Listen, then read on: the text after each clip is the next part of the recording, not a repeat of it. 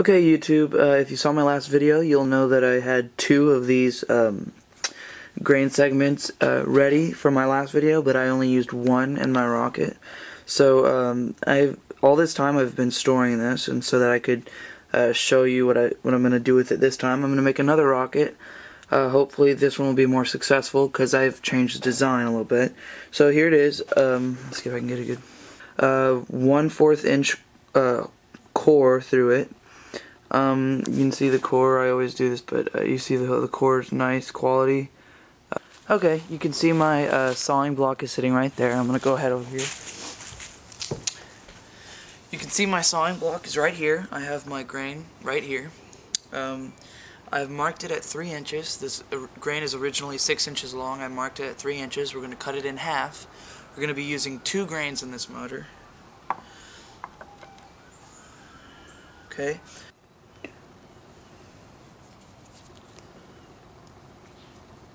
Now you can see it's right there on the vise. Now what you're going to do is take a hammer and you're going to gently tap the tap the propellant out of its out of the casing.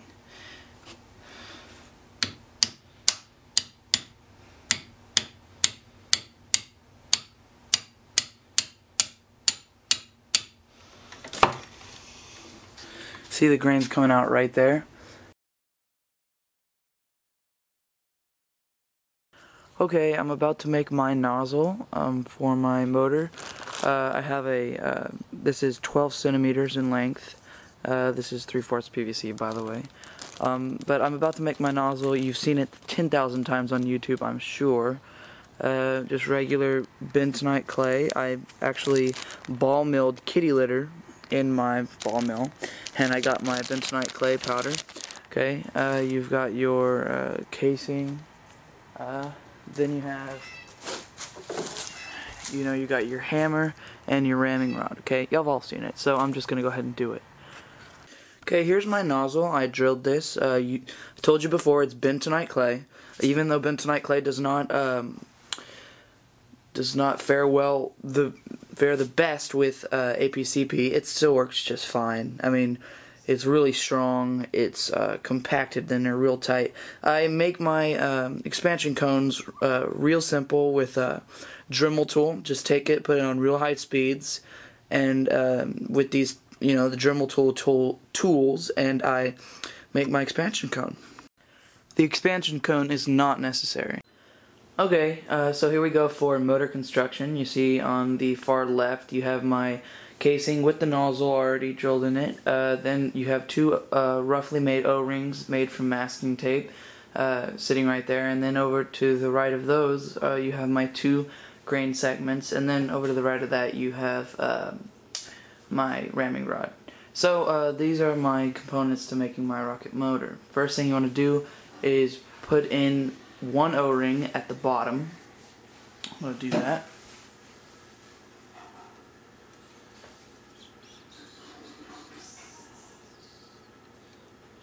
towards the bottom.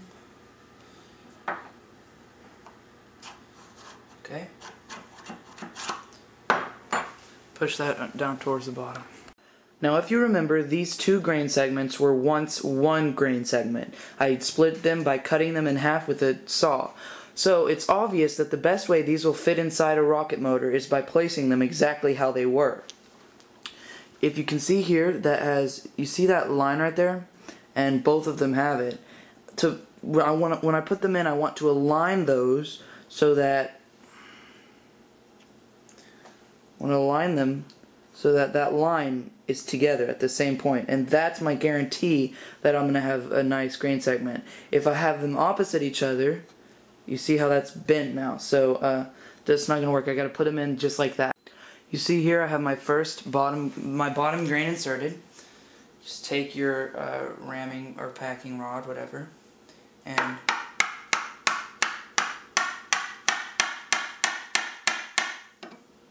see it's coming down already. Now remember, these grains are going to have a tight fit into the casing because you uh, casted them in the exact in, in, in an identical PVC tube.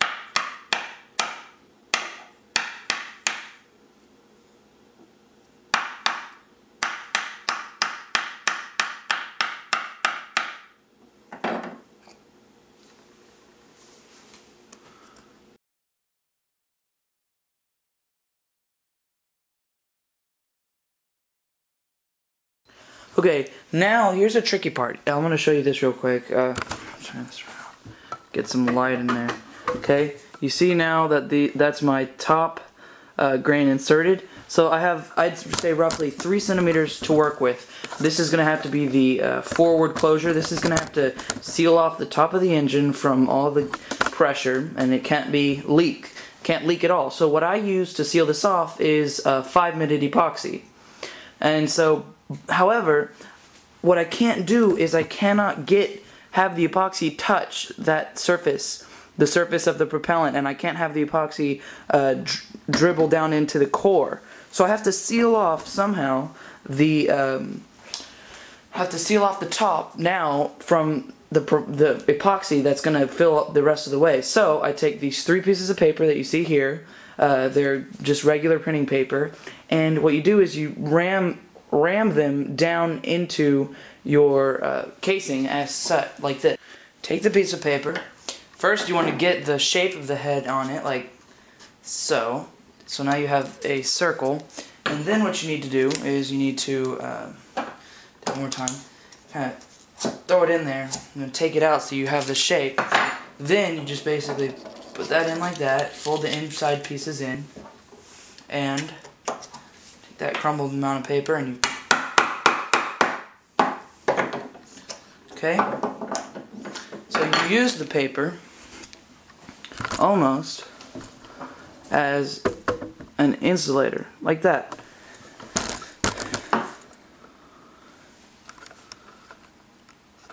And for good measure, I uh, put my clay. It's purple, I mean it's pink clay, but only a true man's not afraid to use pink every once in a while.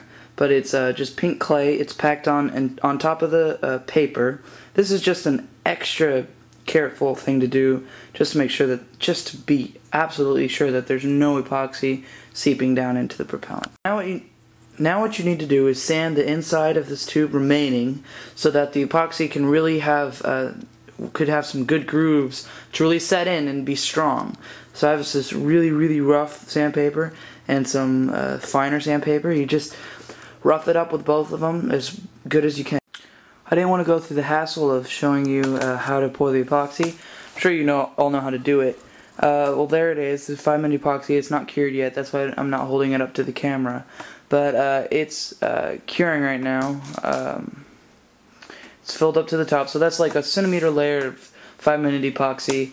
Uh, the making the inside of the tube rough is a very, very, very important thing to do.